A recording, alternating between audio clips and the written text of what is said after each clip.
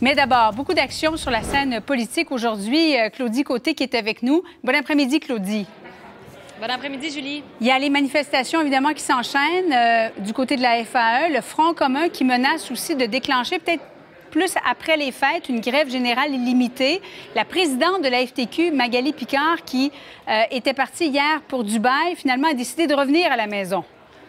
Oui, sous le feu euh, nourri de critiques, faut le dire quand même, Julie. Alors, aussitôt arrivée, aussitôt partie, elle est arrivée cette nuit du côté de Dubaï, Magali Picard, qui devait euh, prendre part à la COP 28, comme vous l'avez mentionné.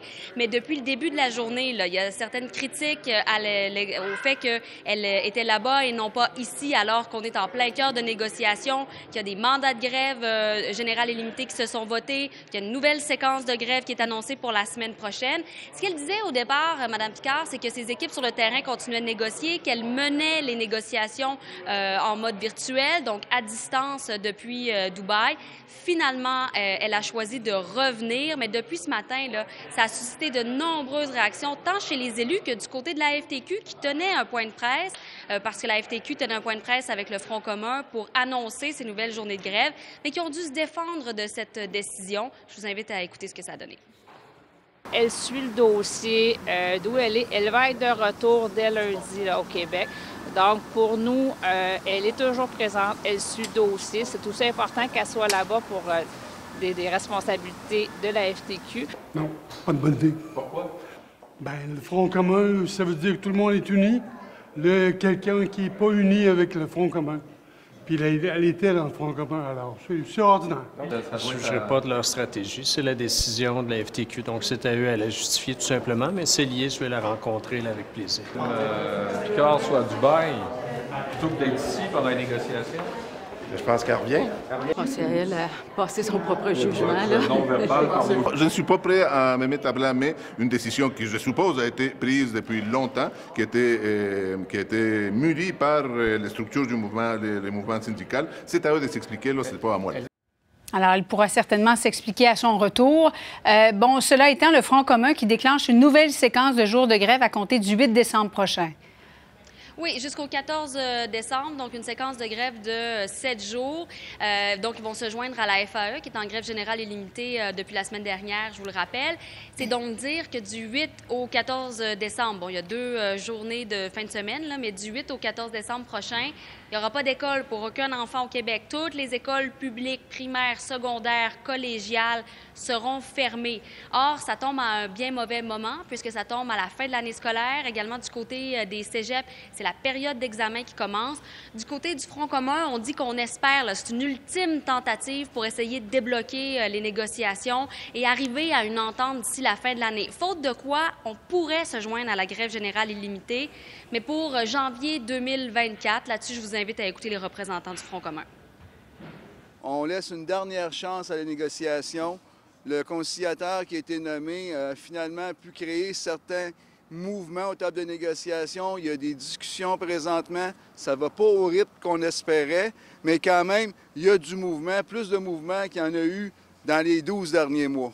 On ne fera jamais de grève s'il euh, y a une entente à portée de main. Il nous reste 10 jours avant de se rendre euh, jusqu'au 8 décembre. Donc d'ici là, il y a amplement de place pour se projeter vers une entente. C'est ça le message qui est envoyé aujourd'hui. C'est un moyen supplémentaire qu'on met aux tables, en fait, pour pouvoir arriver à ce règlement-là. Nos gens ont des attentes. Euh, on veut exercer le moyen de grève de façon vraiment responsable. Bon, et Julie, plus la grève se poursuit, plus ça devient difficile de garantir des jours d'école pour euh, mm. les, euh, les, élèves. Bon, vous savez, euh, selon la loi, il y a 180 jours d'école qui sont obligatoires pour les élèves. Alors, la question se pose maintenant, qu'est-ce qu'on va faire avec le calendrier scolaire? Est-ce qu'on pourrait prolonger l'année? il faut que ce soit jusqu'à la fin juin. On ne peut pas prolonger l'année au mois de juillet. Est-ce qu'on pourrait éliminer la semaine de relâche carrément pour pouvoir donner de l'enseignement? Et qu'est-ce qu'on va faire avec les écoles qui sont FAE et les autres qui sont front commun parce que la grève ne se déroule pas en même temps, au même moment.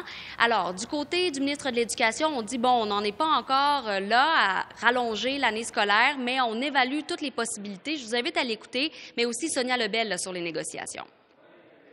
Ce que je vous dis, moi, c'est que j'ai encore espoir que nous en venions à une, euh, à une entente. Et après ça, on verra le nombre de journées qui auront été perdues et puis on prendra nos décisions en conséquence. La loi dit que l'année scolaire se déroule du 1er septembre jusqu'à la fin juin. Si on veut changer ça, ça prend euh, l'accord des syndicats. Moi, je continue avec le même objectif. Mon empressement est le même depuis le début. On veut trouver des ententes le plus rapidement possible. On garde l'objectif de la fin de l'année. Puis ça doit passer par la réorganisation du travail. Je pense que c'est un objectif qui est important pour tout le monde. Et la députée libérale Marois Risky se demande justement, parce qu'on vient d'entendre Sonia Lebel, si Mme Lebel est toujours la bonne personne pour mener ces négociations.